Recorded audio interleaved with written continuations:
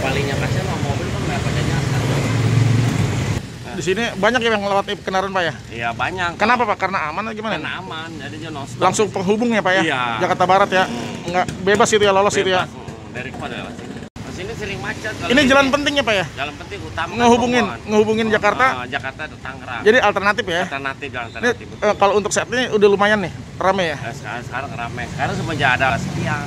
Tapi loh kalau Ginari, kalau misalnya Ginari udah macet total. Oh gitu ya Pak? Jam-jam apalagi jam-jam kerja, wah apa? Ngeganggu nggak? Bapak warga sini nggak terasa terganggu nggak? Nah, namanya udah biasa lah gimana. Pas siapa namanya Pak? Paham dan. Jangan lupa subscribe ya.